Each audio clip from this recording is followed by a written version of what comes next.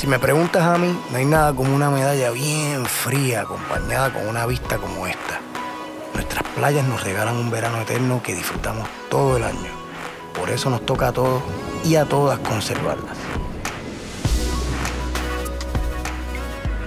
Medalla Light se unió a un grupo de expertos para restaurar estos ecosistemas utilizando botellas de cristal recicladas como ingrediente principal. ¿Cómo es que funciona esto? The idea that we came up with was to crush that glass into sand and then incorporate that sand into our coral reef restoration cement mixture. The machine that we're using to crush the bottles, basically what it does is you insert the bottle through the top and it at very high speeds crushes and pulverizes the bottles into very, very fine particles. ¿Por qué Medalla Light?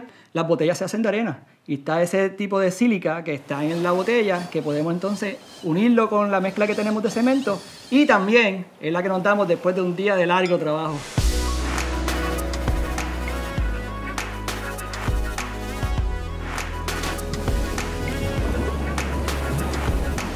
The whole process is, is very simple. Push button start, turn the button on, take a bottle, insert it in the top, neck facing down, make sure the cap is removed, and push it down through the top here. Falls down into the grinder, where then it is pulverized into a very fine sand-like substance or sand-like mixture, and it's collected down here in the five gallon bucket. And that's it. And then from that point on, we can then sieve it to remove all a little bit of the larger particles. Okay. And then we can add that to the, the cement mixture that we use to cement the corals back to the reef like you did.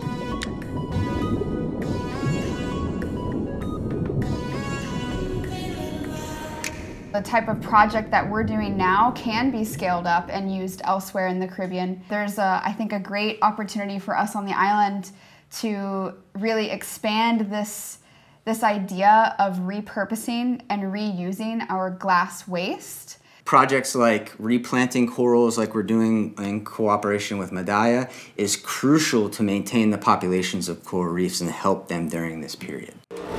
Así, ¿verdad? Sí. Ok. Jugoncito. Yeah. Tenemos corales.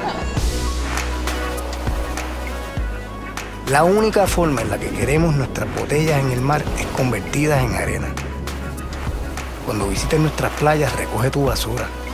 Recuerda que nuestras costas son nuestro orgullo, son nuestra responsabilidad.